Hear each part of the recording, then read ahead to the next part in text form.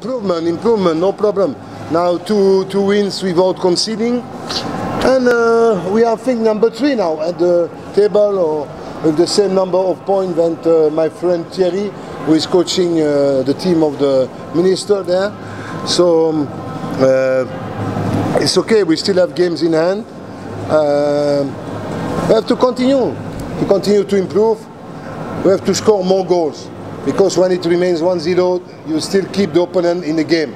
You know, maintain the opponent in the game, and it's a bit difficult.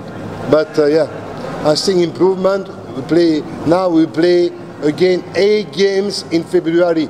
In February, we play nine games. It's uh, very very tough because of the qualification from Tanzania in CHAN.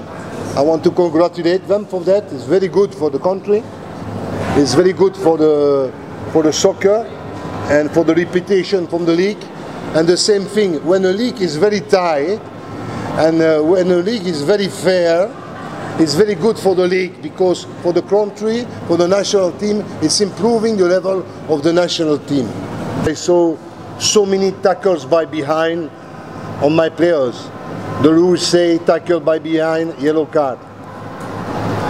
I, I'm sorry to say that, but I'm afraid when I see that, I'm afraid because a player, it can be a player from the opposite team or my player, they are human being and they have a career of soccer player.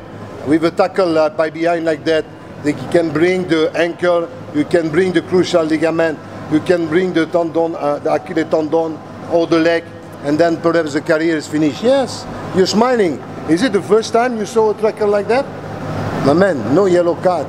But okay, we win at the end of the day. But just I would like, I would like to protect a bit players who are trying to to play soccer.